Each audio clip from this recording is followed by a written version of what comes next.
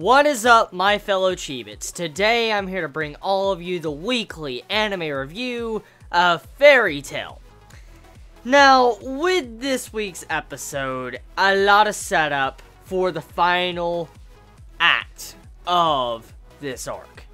We come to find out that Face is still activated and ongoing.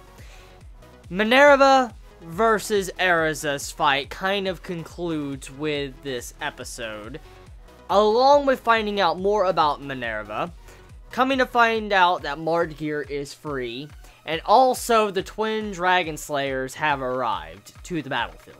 And then also a bunch of other stuff with like Wendy cutting her hair. So quite a bit of content was in this week's episode of Fairy Tail, and that gets me kind of hyped, because I'm glad to see how Fairy Tail is able to just add so much content in one episode, because I know a lot of shows, when it comes to some ongoing shonen, tend to be very slow when it comes to a lot of content, and to see how Fairy Tail, even though it's a long-running series, still does stuff like this, it makes me very happy.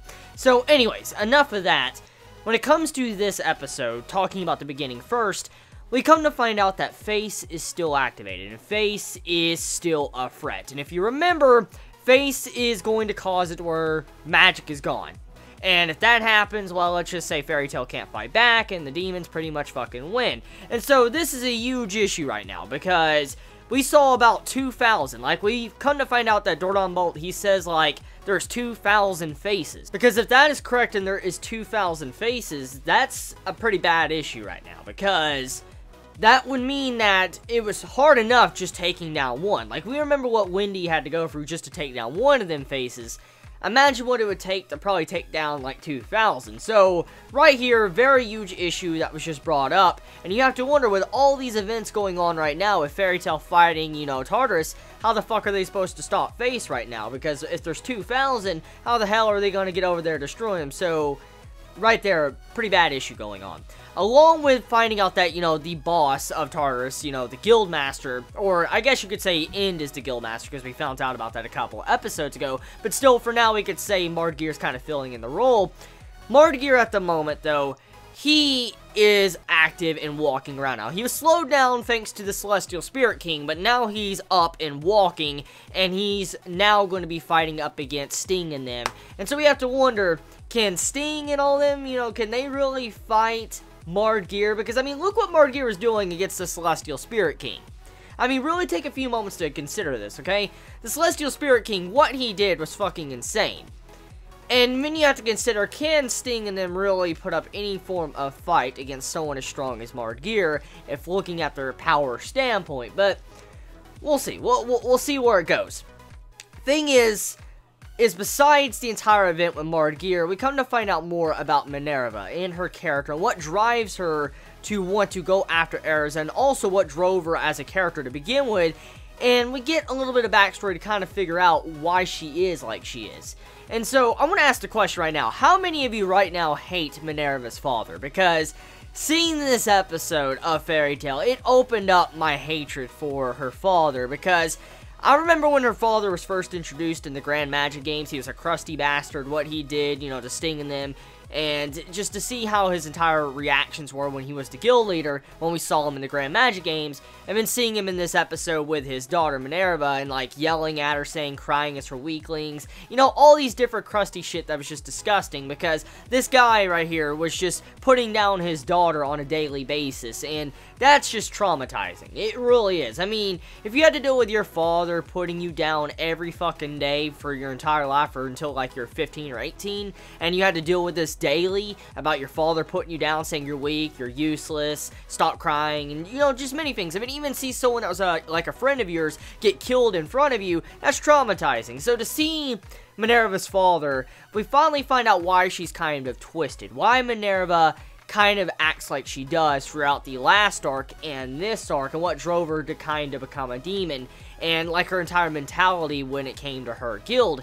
So yeah, I mean, seeing this backstory makes a lot of sense, and it makes you really want to direct your hatred towards her father after seeing the way he treated her. And I mean, any person, depending on how you are, if you're a very young, like, you know, Minerva, and your father or any parental figure that was watching over you probably did that for a very long time, months to years to weeks, whatever, that'll eventually break a kid. It would. It would break a kid if that was done to you on many, many months to years. And that's probably what was done to Minerva.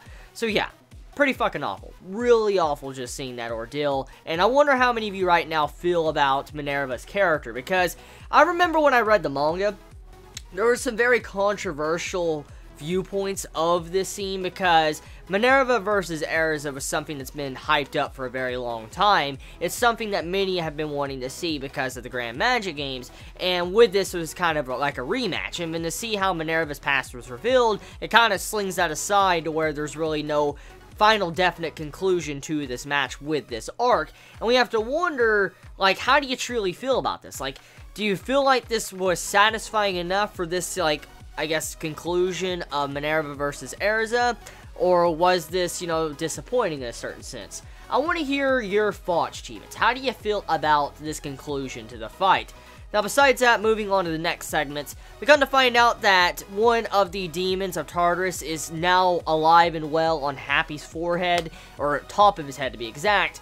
And this was kind of foreshadowed in the filler arc, which I want to take a few moments to really discuss.